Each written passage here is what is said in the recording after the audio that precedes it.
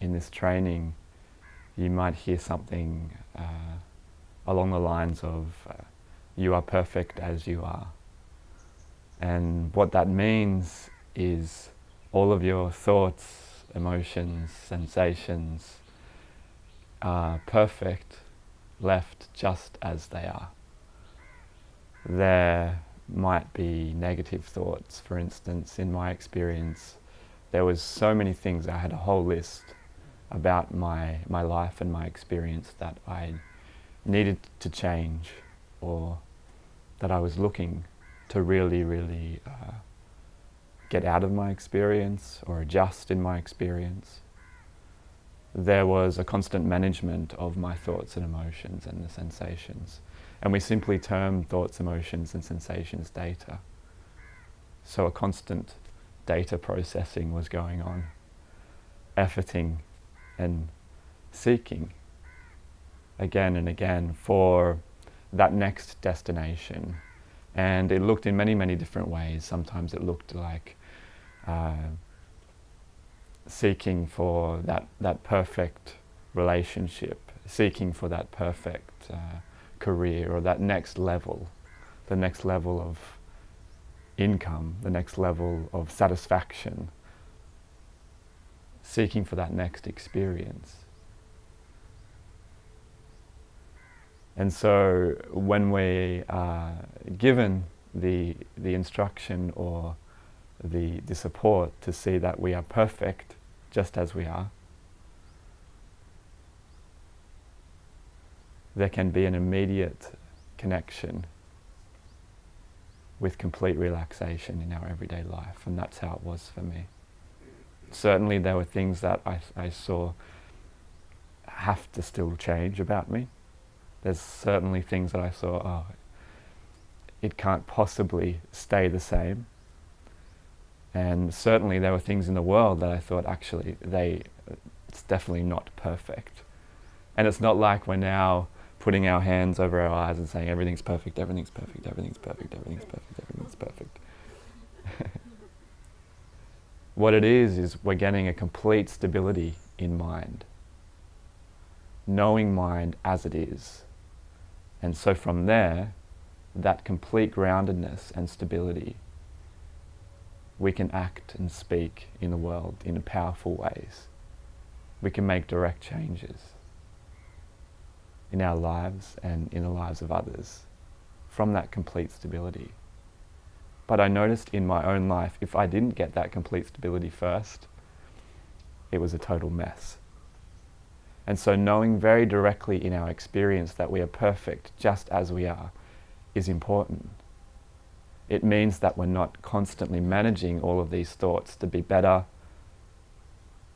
constantly managing all of the next description, the next appearance to be different, constantly chasing after mirage, after mirage, after mirage, looking, searching, finding, trying to find, not finding.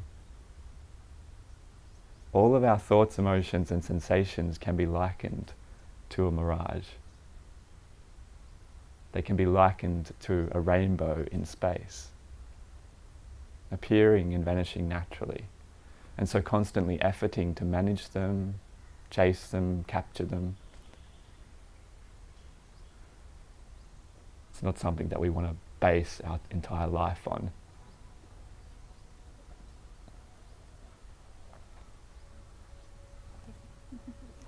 It's not something that we want to base our reality on, our everyday life.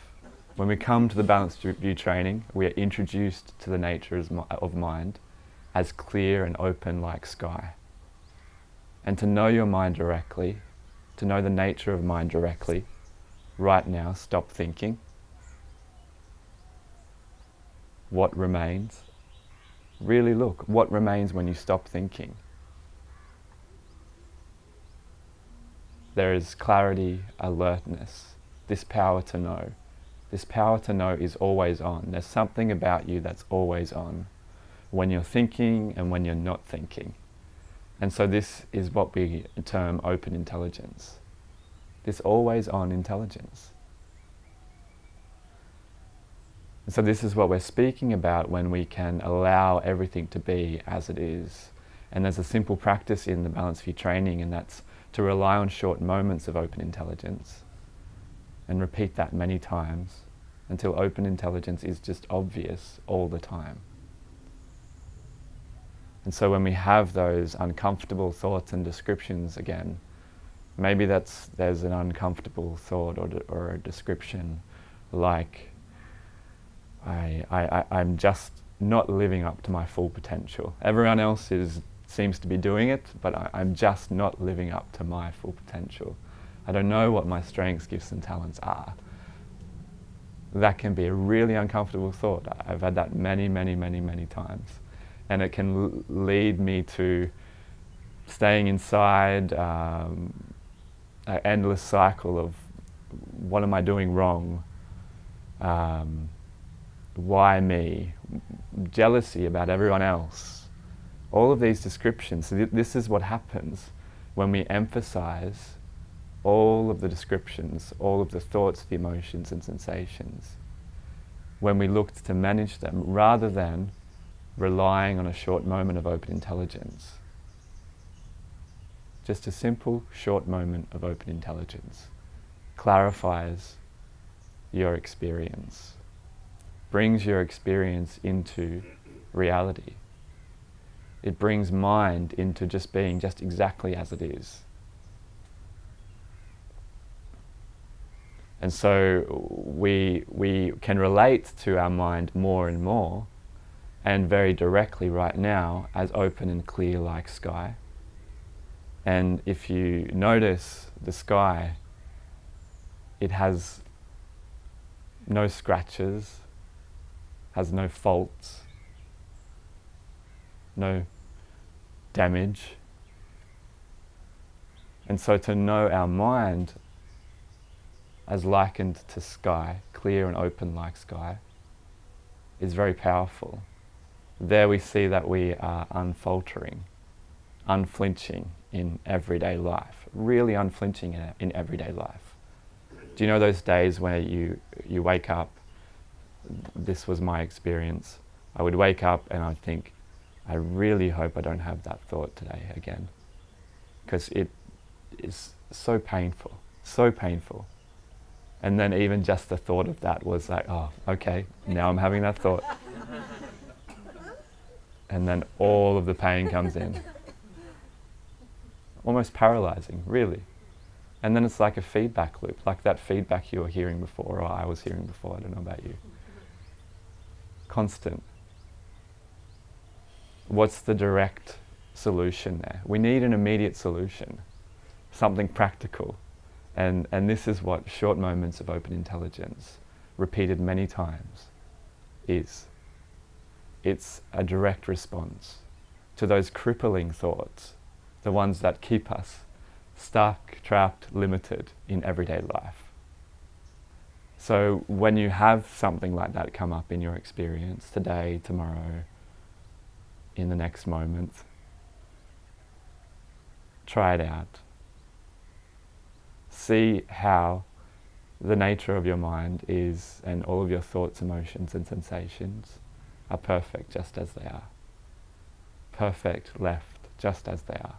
That you are perfect just as you are.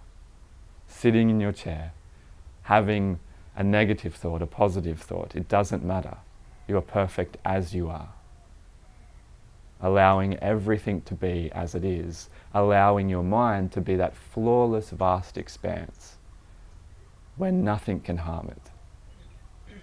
Nothing can take it down, damage it. You don't have to get, work yourself up into that state, which is good. It's just how your mind actually is.